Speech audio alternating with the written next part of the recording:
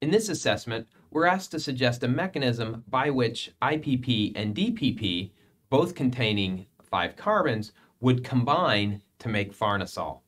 I've gone ahead and drawn the structure on the screen of both IPP and DPP, and we're going to kind of show a shorthand of what this mechanism is going to look like, and then we'll look at the whole thing as a, as a already drawn structure.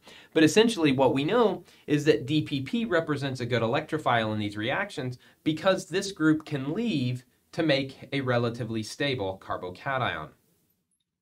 And so in order to make a 15 carbon molecule from two 5 carbon molecules, we're going to have to combine them.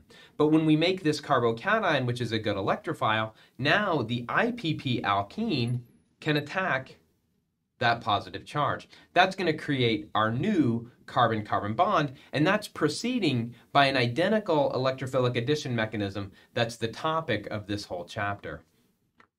Let's look at the, the whole scheme then and show how essentially this that we've illustrated here is basically what's happening here. So in the first step, we're making the stable carbocation.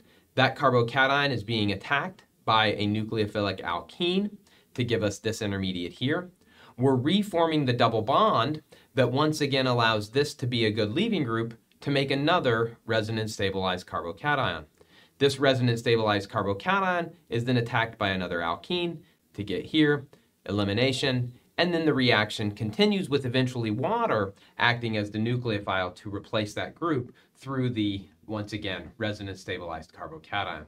It might be worth your time to pause on this screen and, and, and look through that mechanism on your own, but essentially it's this. Make a good electrophile, and then that electrophile is attacked by a nucleophilic alkene.